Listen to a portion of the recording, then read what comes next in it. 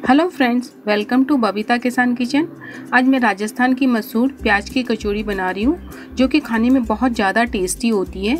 यह फ्राई होने के बावजूद भी खाने में इतनी हेवी नहीं लगेगी। तो आइए बनाना शुरू करते हैं प्याज की कचौड़ी। इसके लिए मैंने तीन प्याज लिए हैं बड़े। उसको कट कर लिया है। छोटे छोटे टुकड़े में कट कर लेंगे। आप चाहे तो चॉपर में चॉप भी कर सकते हैं, लेकिन ऐसे कट करने से प्याज का टेस्ट ज़्यादा अच्छा आता है। ऐसे ही सारे प्याज को बारीक काट लेंगे। अब गरम कढ़ाई में मैं तीन टेबलस्पून रिफाइंड तेल डाल रही हूँ। अब कुछ साबुत मसाले डाल रही हूँ, जैसे जीरा है आधा चम्मच, कालौंजी है वन फोर्थ चम्मच, एक चम्मच साबुत धनिया, उसको दो टुकड़े में तोड़ लिया है और एक चम्मच सौंफ है। साथ ही वन फोर्थ चम्मच हींग डाल रही हूँ। अब इन सबको तेल में अच्छे से भून लूँगी मसालों को, सूखे मसालों को, जिससे फ्लेवर अच्छा आ जाएगा। अब इसमें तीन हरी मिर्च डाल रही हूँ बारीक काट के। साथ ही एक चम्मच कद्दूकस करके अदरक डाल रही हूँ। और इन सबको भी तेल में मसाले के साथ भून लेते हैं, जिससे सबकी खुशबू बहुत अच्छी आ जाएगी एक साथ ही। और ये खड़े मसाले बहुत अच्छा लगता है। अब ये प्याज जो हमने बारीक काट के रखे थे, वो सारा इसमें डाल देते हैं। और इसको मध्यम आँच में चलाते हुए भूनेंगे। बहुत हाई फ्लेम में नहीं करेंगे और लो टू मीडियम में इसको पकाएँगे। अब इसमें मैं आधा चम्मच नमक डाल देती हूँ, जिससे प्याज जल्दी पक जाएगा। और उसको वापस से चलाते हुए हल्का सा ब्राउन होने तक इसको पकाना है प्याज को और बड़ी तसल्ली से। ये प्याज हो गया है। अब इसमें सूखा मसाला डालते हल्दी डाल दिया थोड़ी सी। एक चम्मच लाल मिर्च पाउडर डाल रही हूँ, एक चम्मच धनिया पाउडर डाल रही हूँ, साथ ही दो चम्मच बेसन डालूँगी। बेसन से एक बाइंडिंग आ जाती है और कचौड़ी में बहुत अच्छा टेस्ट आ जाता है। जब ये बेसन भूनता है प्याज के साथ तो इसमें बहुत अच्छी भीनी भीनी खुशबू आती है। इससे मसाला का टेस्ट दुगना बढ़ जाता है। और ये प्याज और मसाला और बेसन सब भून गया है।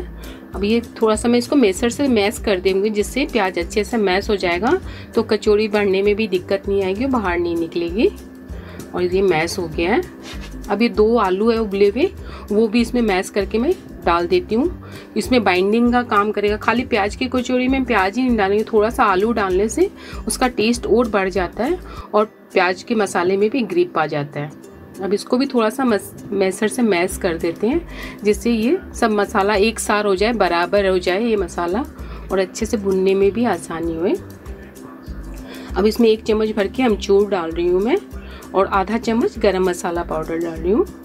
साथ ही हाफ़ चम्मच चीनी डाल रही हूँ। चीनी से खट्टा मीठा टेस्ट आता है। अमचूर का खट्टापन और चीनी चीनी और प्याज की कचौड़ी में बहुत अच्छा मीठा, खट्टा मीठा फ्लेवर आ जाता है इसमें। ये ज़रूर डालिएगा चीनी। अब इसमें मैं काला नमक डाल रही हूँ वन फोर्थ चम्मच से चटपटा स्वाद आ जाता है और थोड़ी से बारीक कटे हुए हरा धनिया डाल रही हूँ। अब ये मसाला रेडी है और बहुत अच्छी खुशबू आ रही है इस मसाले से और बहुत ज़्यादा टेस्टी बना है मसाला। अब इसको ठंडा होने के लिए रख देते हैं। तब तक कचौड़ी की डो लगाते हैं। इसमें दो कप मैदे में आधा चम्मच नमक डाला है और वन फोर्थ चम्मच में कलौजी डाल रही हूँ। अब इस सूखे इन्ग्रीडियंट्स को अच्छे से मिक्स कर लेते हैं। अब इसमें मैं चार चम्मच रिफाइंड तेल डाल रही हूँ। और इसके अच्छा मोइन कर लेंगे। इसको सूखे आटे को अच्छे से मसल मसल के इसको, तेल को अच्छे से सभी आटे में लगा लेंगे, जिससे मोइन बहुत अच्छा हो जाएगा, कचौड़ी सॉफ्ट बनेगी। अब इसमें थोड़ा थोड़ा पानी डाल के सॉफ्ट डो लगाएँगे। बहुत कचौड़ी का बहुत हार्ड नहीं लगाना है, सख्त नहीं लगाना डो नरम आटा लगाना है इसका, बिल्कुल लूज आटा लगाना है। और अच्छे से मसलते हुए लगाएँगे तो कचौड़ी खस्ती और फुली फुली बनेगी। ये देखिए, इतना गीला आटा लगाना है। अब इसको थोड़ा सा पटक लेंगे। इसको 10 से 15 बार पटक लीजिएगा, जिससे कचौड़ी अच्छे से फूलेगी, नरम होगी ये देखिए कितना अच्छा आटा लग के तैयार हुआ है। अभी डो बिल्कुल रेडी है। 10 मिनट बाद देखिए कितना सॉफ्ट डो बन के तैयार हुआ। थोड़ा सा और मसल लेते हैं इसको।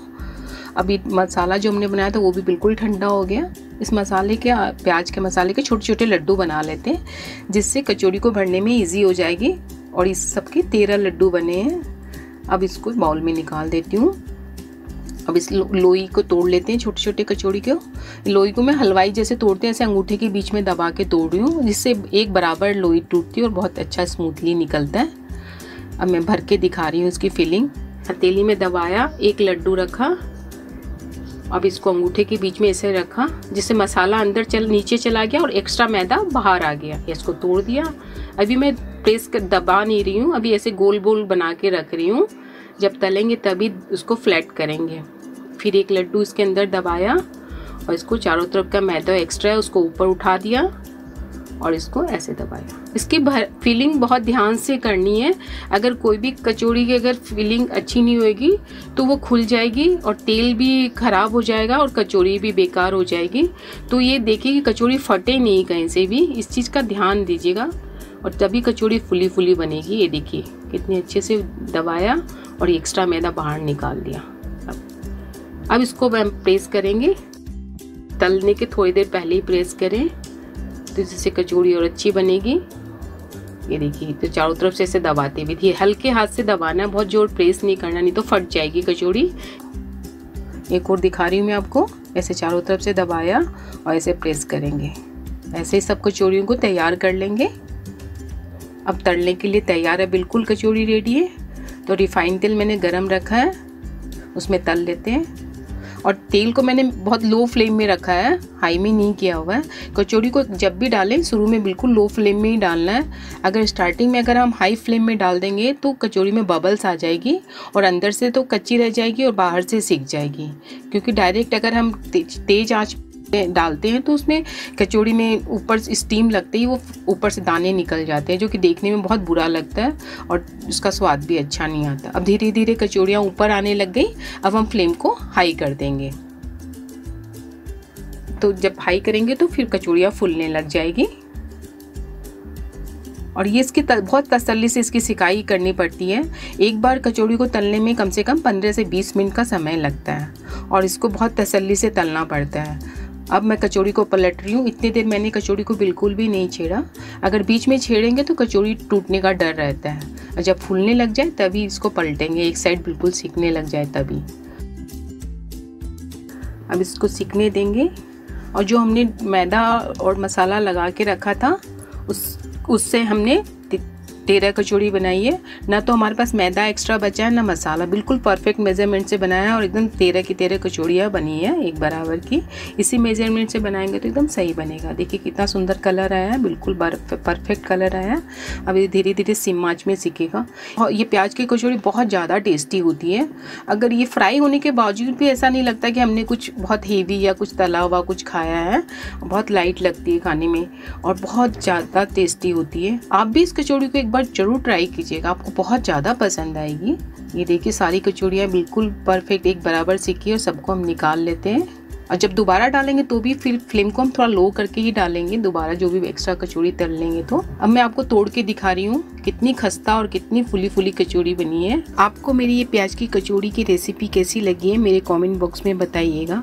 अगर पसंद आ रही है तो लाइक कीजिएगा और मेरे चैनल को सब्सक्राइब ज़रूर कीजिएगा। Thank you